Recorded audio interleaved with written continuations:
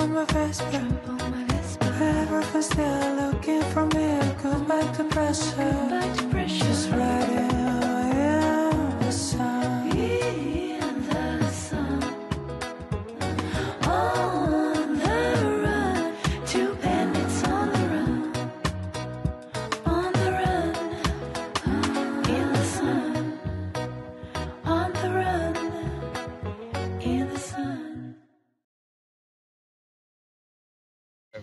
골라준 사람한테 나중에 제품을 받고 나서 별점평 별점 평가해주고 서비스 차지 팁을 줄 수가 있어요. 의무는 아니에요. 선택인데 내가 마음에 들었어. 네. 내가 받았더니 어 고기도 너무 좋은 거 갈고 해주고 양파도 너무 깨끗한 거 잘 갖다 줬어. 만족스러워. 그러면 이제 자기가 액수를 측정해서 줄 수가 있어요. 그게 제품을 골라주시는 분들의 동기부여가 돼서 그런 생각 하잖아요. 나 대신 방을 봐주는데 멍들은 과일 이렇게 넣어주는 거 아니야. 뭐 제품을 대신 해주니까 꼼꼼하게 안 보고 막 이렇게 집어넣는 거야 아니야. 뭐 그런 생각할 수도 있어요. 그런 재밌는 시스템이 있기 때문에 좀 더 책임감을 갖고 방을 봐주는 것 같아요. 되게 좋은 시스템. 그러니까 이제 배달을 받았어요. 나 이제 체크를 해 만족도 조사를 한단 말이에요. 그러면은 팁을 줄 거냐 말 거냐 이 란이 있는데 이 배달 오신 분한테 팁을 준다는 게 아니고 내 물건을 나 대신 골라준 사람한테 가는 팁이거든요. 그렇기 때문에 이거를 팁을 받기 위해서 이 일을 등록을 하신 분들은 똑같아. 공동의 이익을 위해서 더 잘 골라주고 더 예쁜 거, 더 신선한 걸 골라줘야지 우리가 다 팁을 더 많이 받을 수 있다. 나의 특정된 수고로 이해해. 그러다 보면은 어차피 담는 거. 조금만 신경 쓰면 내가 100루블이라도 더 벌 수 있어. 같은 일을 하면서. 소비자도 깨끗한 거 예쁜 거 받아서 좋고 나는 골라주면서 돈을 더 받아서 좋고 이런 시스템이거든요. 그 동기부 아까 말씀 권태기님이 말씀하신 어떤 내가 이 일을 하는 데 있어서 더 예쁜 거 좋은 거를 주문하신 분 대신 골라주고 있다라는 거에서 책임감을 느낄 수 있게 동기부여를 팁을 주는 형식으로 하고 있어요. 근데 이게, 이게 팁을 아까워하실 게 없는 게 그로 인해서 점점 점점 서비스 품질이 올라가는 그 전체적으로 스페르마켓을 이용하시는 모든 고객층들이 만족할 수 있는 게 되는 거고 또 한편으로 내가 마트 한번 가려면 최소 2시간 걸리잖아요. 운전해서 가서 주차도 해야 돼. 골라서 담아서 계산대에서 해가지고 집에 와 장도 옮겨야 돼. 그래서 아무리 빨라도 2시간은 소요가 돼요. 근데 이걸 내가 안 해서 집에서 있고 애 픽업할 시간하고 애매해. 나 대신 이거 시켜놓고서는 난내 돈을 버는 거야. 딱 받으면 돼. 그러면 기름값도 안 들어. 운전도 안 해도 돼. 시간도 2시간, 3시간 벌었어. 그러니까 100루블, 200루블 솔직히 아우 내가 장을 보는데 왜 또 4천 원이나 더 내? 이게 아니야. 내가 갔다 온 거 기회비용을 생각하시면 차라리 팁을 주고 내가 편하게 내 생활을 좀 더 윤택하게 하고 내 시간을 나한테 투자하거나 아, 또 손님이 오실 수도 있어. 애 픽업 시간하고 애매하게 겹쳐. 애는 2시에 오기로 했는데 오늘 저녁에 갑자기 손님이 오시겠대. 남편분이 손님 오시고 오시겠대. 그럼 나에게 주는 시간 4시간밖에 없는데 애들이 갔다 왔다? 데려다 놓고 집 청소도 하고 뭐도 하고 하다 보면 시간 안 맞아. 청소를 하는 도시 하면서 2시간 후에 오시, 오시니까 나 대신 장을 봐서 4시 반에 갖다 줘. 그럼 나 그때부터 손질해가지고 손님상 차릴 준비를 할 수가 있는 거잖아요. 그러니까 시간적으로 활용할 수가 있어. 이런 거 저런 거 따지 그러니까 되게 실속이 있다고 해야 되나? 되게 좋은 시스템이에요. 이거 한국도 솔직히 있었으면 좋겠어요. 오전에 아이들 학교 보내놓고 가정주부 아줌마들 맞벌이까지는 아닌데 시간이 애매하신 분들 있잖아요. 애들 금방 올거 하나 세네 시간이라도 나 알바하고 싶어. 그런 분들 계시면 커피숍에서 시간 보내시지 마시고 주부들이 제일 살림을 잘 하시잖아요. 물건도 잘 고르고. 그러니까 세네 시간 정도 비는 시간을 이상한 나 이거 하기도 애매해. 저기 갔다 오기도 애매하니 또 직장 다니기도 애매해. 이러신 분들은 그런 시스템을 이용해서 그 대신 장 봐주고 거 해주고 보내주고 나도 약간 용돈벌이 어? 그런 거 좀 하면 괜찮을 것 같아. 나도 비상금 챙기고 아니 커피숍 가면 내가 거, 거꾸로 만 원씩 써야 되잖아요. 근데 내가 시간당 만 원씩 번다고 생각해봐. 근데 내 시간에 하루에 내 4만 원을 벌어? 그럼 일주일에 내가 다섯 번 이걸 등록을 한단 말이야. 일주일에 20만 원을 벌 수가 있는 거야. 5일을 한다고 하고. 그럼 주말에 애들하고 그 내가 엄마가 돈 버는 걸로 엄마 쏠게 이러면서 하면 좋잖아. 그 남편도 얼마나 좋아. 그리고 내가 너 시간을 놀리는 게 아니잖아. 어차피 난 장을 보니까. 그거 보면서 내가 돈을 번다고 생각하면 되게 괜찮은 시스템이죠. 그리고 어, 왠지 기분 좋잖아. 나도 뭔가 생산적인 일 하는 거. 어차피 살림하면서 돈을 번다라는 시스템. 나라면 만약에 한국에 이런 게 있으면 내가 만약에 나이가 어려 애가 아직 손을 타야 돼. 완전히 온전히 내가 9시부터 6시까지 근무할 수 있는 환경이잖아요. 근데 이거 잠깐 잠깐 소주하죠 하루에 사다 일주일에 20만 원. 그러면 사주 하자면 80만 원을 버는 거예요. 거의 학원에 빠지잖아. 아니 주말에 놀러 갈 수도 있고 그거 모아가지고. 자, 그리고 대학생 공강 시간 휴학생 때 그런 거 시스템 이용해가지고 아르바이트 꼭 내가 어디 취직을 해야 돼, 좀 근력을 써야 돼 이런 거 말고 잠깐 잠깐 내가 할 수 있는 것들. 시간 비는 시간을 내가 계산해가지고 내가 이번 학기에는 월화수밖에 수업이 없어. 그럼 목금은 알바를 찾기 힘들단 말이에요. 그럴 때 이제 이용한다고. 한국에 계신 분들도 좀 고안을 좀 해보셨으면 좋겠어 마케팅적으로. 근데 그 스베르 마켓은 이게 온라인 마켓인데 거의 온 오프라인이 합쳐져 있는 마켓이기 때문에 연동돼 있잖아. 네, 연동돼 있어서 모스크바 기준으로 하면은 판매하고 있는 대형 마트나 일반 마트가 다 입점해 있어요. 사이트 보시면은 다 거기 들어가 있어요. 다 그러니까 다른 게 아니에요. 아샨 다니던 사람이야. 그냥 스베르 마켓 가서 주문하면 아샨에서 주문해서. 메트로 다니는 사람이야. 스베르 마켓에서 메트로 용품을 주문해서 그냥 그 메트로 사다 줘요. 딴 데서 사다 주는 게 아니라 내 주문이 들어간 이후에 바로 일사불란하게 움직이거든요. 거기 마트의 대기 인력들이. 그래서 이 조끼를 입고 계세요. 그분들은. 일반 고객하고 스베르마켓에서 고용된 직원들, 아르바이트 하시는 분들, 파트타임제 하시는 분들이 분리가 된다는 아, 오시면은 무슨 말인지 아실 거예요. 아샨은 한국의 이마트, 또 메트로는 한국의 코스트코 그런 느낌이고 코로나 직전에 네, 코로나 살라리스. 센터가 생기면서 글로부스라는 아이가 생겼죠. 네, 글로부스 게 장보기가 되게 좋아요. 글로부스는 딱 보면은 어 내가 이마트 왔나? 이마트에서 카트를 끼면서 쇼핑할 때 그 느낌이 나는 마트인데 가면 제일 핫한 게 알코올 코너. 네, 주류 코너가 굉장히 크고 아, 다 마셔보고 싶어. 나 진짜 술을 잘 못하는데 근데 너무 예쁘게 진열해 놓으니까 이걸 사야 될 것 같아. 수집하는 사람 말이야. 고기도 많이 있고 고기도 좋은데 해산물이 되게 해산물. 좋아요. 해산물 종류가 많고 연어 이런 거 좋고 근데 가격은 싸진 않아요. 같은 제품 났을 때 아시안하고 비교하면 아시안이 더 저렴하죠. 그게 있잖아요. 속꼬리. 꼬리. 속꼬리 돼지 등뼈를 팔아요. 뼈 맛있다. 한국 사람들 고아 먹는 거 있잖아. 그거를 되게 와, 저렴해. 되게 저렴해. 근데 동나요. 금방 다 팔려. 그러니까 사골국 끓여 드시고 건국 끓여 드시고 돼지 등뼈 그런 거 요리 감자탕. 어 감자탕 할수 있으신 분들한테는 식재료 구하기가 너무 좋은데 중요한 거는 금방 없어진다는 거. 갈비뼈도 싸게 팔아. 어, 맞아, 갈비뼈. 갈비뼈 완전 좋아. 어 그거 되게 좋아요. 아무튼 그러니까 한식 갈비탕 해 드시고 싶고 진짜 한국식 한식당에서 파는 요리를 내가 해먹고 싶은데 식자재가 어디서 구할지 모르겠다. 그럼 글로브스를 무조건 가세요. 그러면 심지어 떡볶이 떡을 팔아요. 한국 거. 그리고 라면 종류도 많고 웬만한 거 다 있는데 대신 가격은 비싸요. 근데 한 번씩 가는 게 나쁘지 않아요. 장어도 팔고. 오 장어. 장어, 장어. 오 장어 팔어. 저 장어 초밥 해 먹었었나요? 장어, 장어 덮밥. 장어. 장어 덮밥 해 먹기 좋은데 이제 장어에 잔가시들이 있어요. 그러니까 너무 어린이한테 먹이기 좀 좋고 어른들 먹기에는 거, 거슬리지 않는데 애들이 입이 작으니까 가시 잘못 먹으면 또 피부가 약하잖아. 걸릴 수 있는데 어른들은 충분히 씹을 수 있을 만큼 연해요. 그래서 그게 가시가 그렇게 크게 거슬려지진 않는데 아무튼 장어 덮밥 먹고 장어 초밥을 사 드시지 마시고 그냥 하나 사와서 막 넉넉하게 드시면 됩니다. 양념된 거라서 굽기만 음. 하면 돼요. 오, 너무 나- 괜찮은 것 같아요. 그랬던 것 같아요. 일본 마트에서 파는 장어보다 훨씬 낫죠.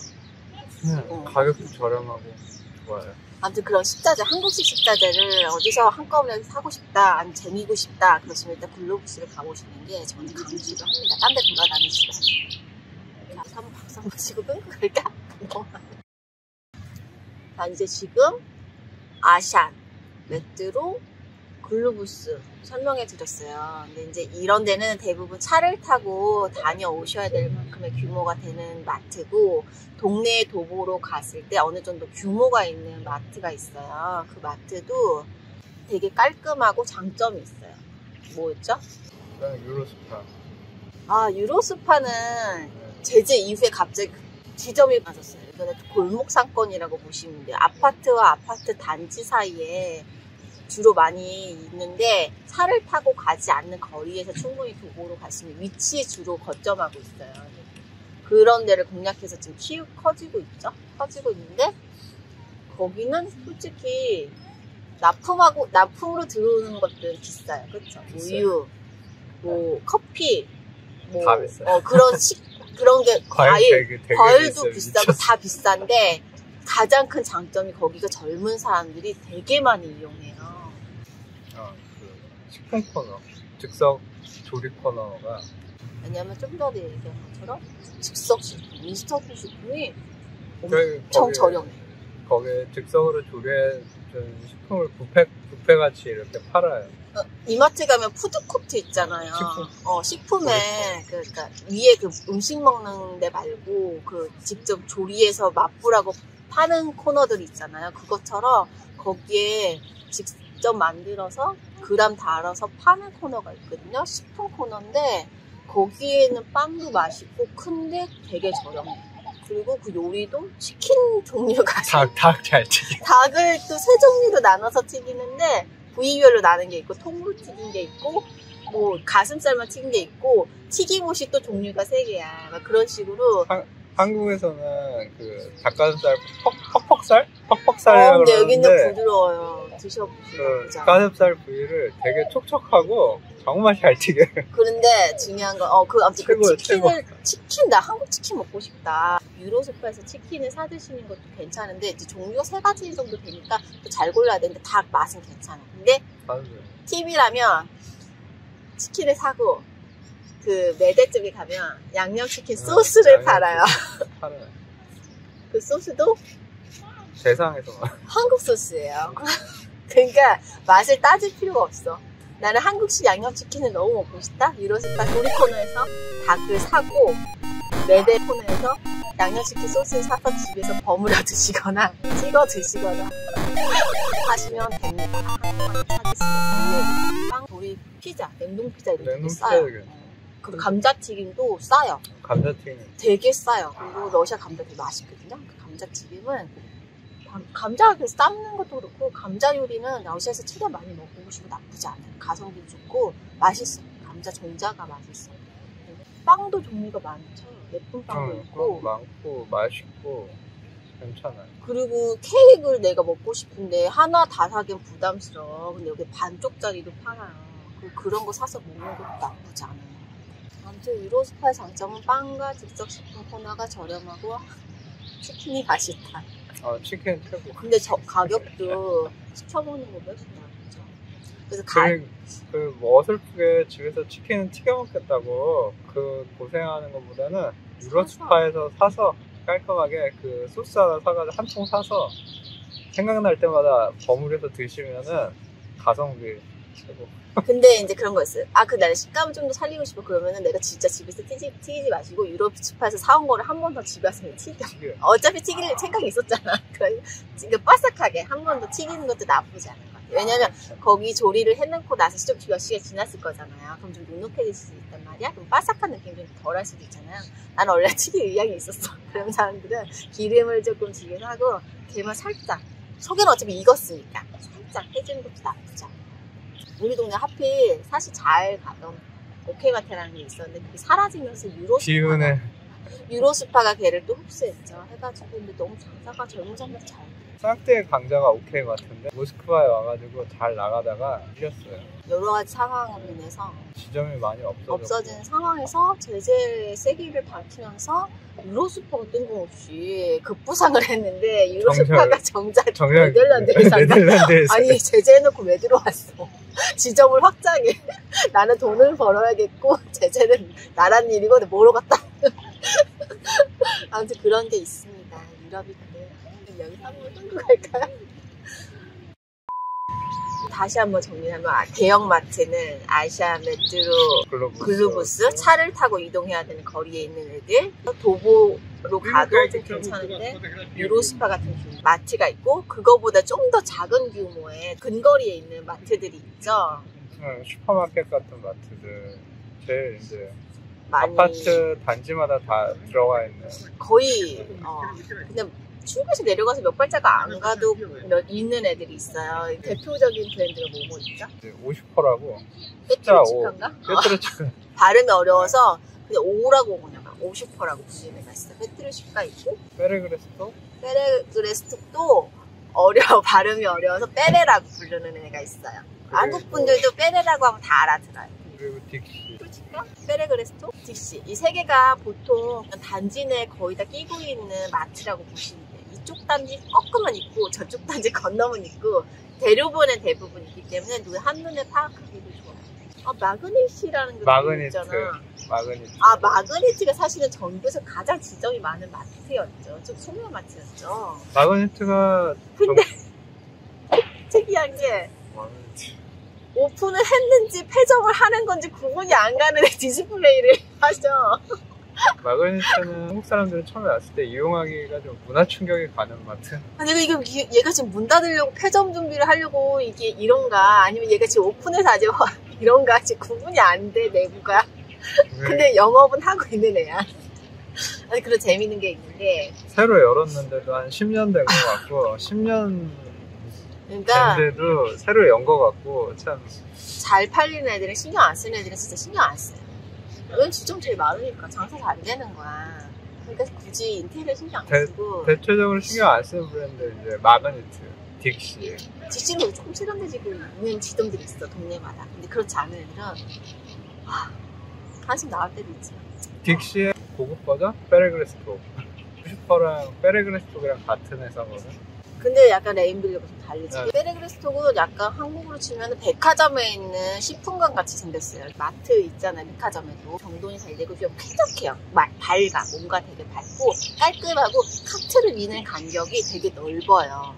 그래서 그 grade를 보면은 음, 딕시 50% 마그니트가 이제 같은 그 음. 같은 grade. 그 그, 위에 위에 이제 페레크레스톡, 그그 위에 아즈부카 아즈- 아즈부카 아즈부카랑 브쿠스빌, 네, 브쿠스빌 그리고 이제 거기에 이제 같은 grade 이제 유로스파. 유로스파가 좀 그렇게. 근데 사이즈는 크고 약간 그런 이미지가 있죠. 브쿠스빌 같은 경우는 유기농 위주의 건강식품 자기네 자사 브랜드가 있어요. 부쿠스빌 이 제품 좋죠. 뭐 우유도 좋고 테페레도 맛있고 음. 계란도 괜찮고 특히 이제 너겟 부쿠스빌 너겟은 품질이 좋 지. 쿠스빌은 자기네들이 직접 운영하는 농장 이런 관리하는 데가 따로 있어요. 그렇기 때문에 러시아 사람들 인식으로는 유기농 제품 먹는 느낌이에요. 옛날 우리나라로 치면은 마트에서도 고기를 팔지만 농협에서 파는 네, 고기를 더 좋다고 품질아. 생각하는 어. 거랑 똑같아요. 거기 약간 나뉘어 있어요. 그래서 브쿠스빌 거는 일단 품질이 다른 데서 대량 생산한 이런 데보다는 조금 소량 품종으로 해가지고 관리에 좀 더 신경 쓰는 업체라고 보시면 돼요. 인식을 좀 더. 유기농 내가 에코 제품이나 natural. 아즈부카는 고급 편의점에서 내가 네, 고급 편이죠. 그런 느낌인데 내가 우유를 70루블짜리 우유를 사겠다고 아샤를 가느니 내가 여기서 90루블 주고 사겠다. 같은 제품에서 가격은 비싸요. 근데 내가 굳이 그 시간 대비 아니면은 북적북적한 데 가고 싶지 않아. 집에 가는 길에 대충 사서 가고 싶어. 이러신 분들이 많이 이용을 해요. 작아요. 작고 편의점 느낌이 강한데 다 비싸. 가격도 비싸요. 어. 그렇지만 이용해 그런 사람들 시간 대비 아니면 귀찮은 사람들도 있고 굳이 차 끌고 마트 가고 돈 들이고 시간 벌고 싶지 않은 사람들 수시로 그냥 퇴근길에 사갖고 가고. 근데 대신에 제품은 깔끔하게 돼 있으니 많지는 않아 작으니까. 진짜 편의점에서 거예요. 그러신 분들 비싸죠. 우유도 비싸고 커피류도 비싸고 무제품 다 비싸고 고기도 비싸고. 고기도 일부러 더 비싼 것만 갖다가. 그리고 이제 나가라. 봐. 아 가야 되는 거야? 아 케아가 여기서 오늘 청소한다고 가라고 아 모스크바는 4월이 청소달이에요. 아, 청소달. 아, 청소의 달이라고 해서 지금 청소해야 물 된다고 전부 청소해요. 비켜달래 가야겠다